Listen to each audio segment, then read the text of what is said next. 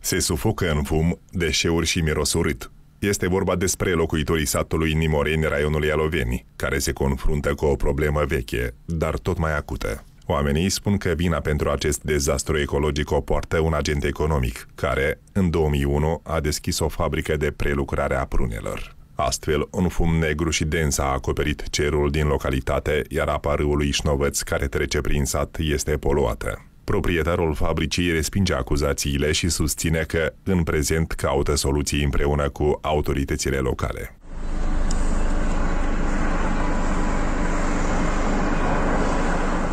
Aceste imagini au fost publicate pe internet de un locuitor al satului Nimoreni. Oamenii spun că mirosul a devenit insuportabil și mai este și toxic. Într-adevăr, faci fum și... Dar în cămuia, când e bine așa, dacă când e o leacă, e tumanuri, ceva, așa stă jos. Nu poți înșira o haină, nu poți să faci nimic. E urât de tot. Într-adevăr, e pericol. Și nu se ia măsuri nici. A fost adresat și la primărie, dar degeaba. Alții însă spun că nici fumul dens, nici activitatea uzinei nu-i deranjează. Nu, nu ne deranjează. Vă spun, la trupa înaltă și se duce jos pe stadion, acolo, până chiar nu ne deranjează. Primarul localității Nimoreni, Andrei Cobali, recunoaște că localnicii au depus mai multe plângeri și spune că există soluții.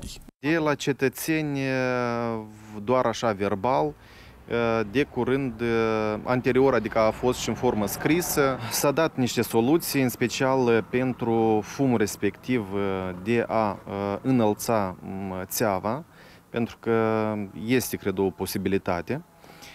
Și a doua, ce ține de partea apei care uzată,